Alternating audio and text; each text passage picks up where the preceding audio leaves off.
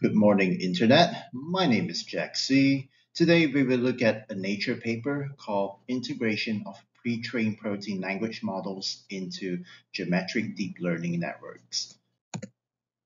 Graph neural networks have been a vital staple in predicting a tiny biological phenomenon, such as learning on 3D biological structures of large biomolecules and predicting interactions between proteins and their ligands. These graph models typically takes either the exact 3D residual uh, structure of a protein from crystallography or just the one-dimensional linear sequence representation of the protein.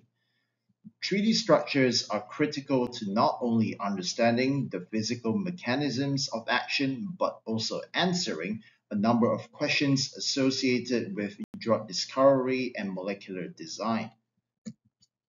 However, the amount of 3D protein structures is usually much lower than the 1D linear protein sequence data.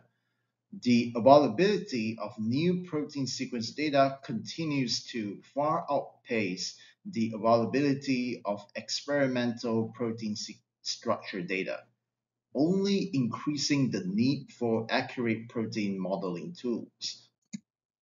So, is there a way to boost 3D protein uh, graph neural network model prediction accuracy using these abundant 1D uh, protein sequences?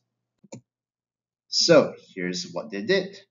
They fed amino acid sequences into a protein language model called ESM2 and extract the, the residue representations and then these representations can be used as the input uh, node features for the graph neural network.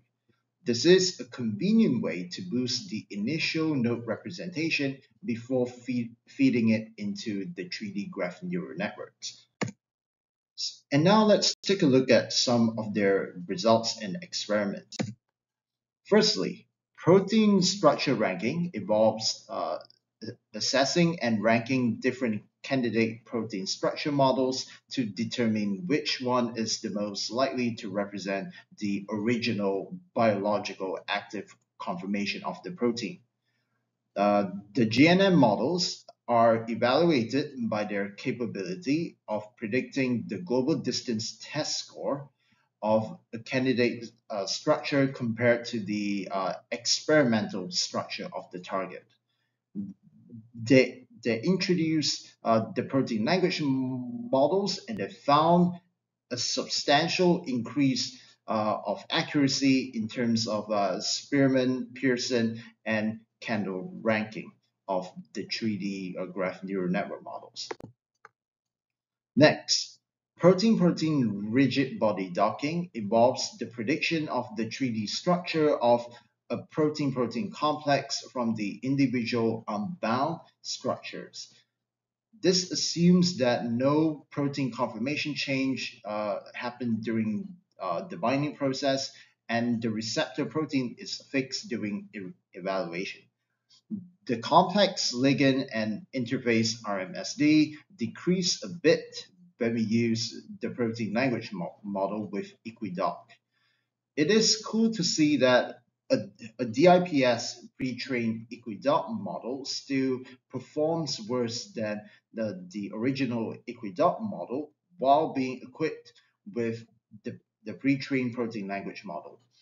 This demonstrates that uh, structural pre-training for graph neural networks might not even benefit graph neural networks more than using uh, a pre-trained protein language model. Next, ligand binding affinity predicts the strength of a candidate drug molecule's interaction with a target protein by predicting the pK values, where K is the binding affinity in molars.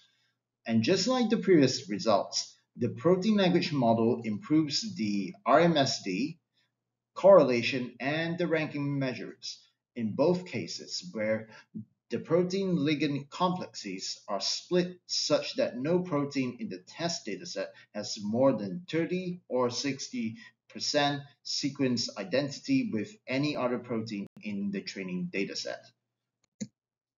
Next, protein-protein interface uh, investigates whether two amino acids will, will come into contact with one another when their respective proteins bind together the AU-ROC increases for all three models um, when we augment them with the protein language models. It is quite interesting to see that Molformer initially falls behind uh, the other models, but after injecting uh, knowledge learned by the protein language models, the Molformer achieves a similar performance uh, uh, compared to the other models. Next, as we scale up the size of the protein language model, the protein uh, uh, prediction accuracy of these models improve consistently as you increase the size. This implies that the scaling of these language models is crucial for 3D protein uh, graph neural networks.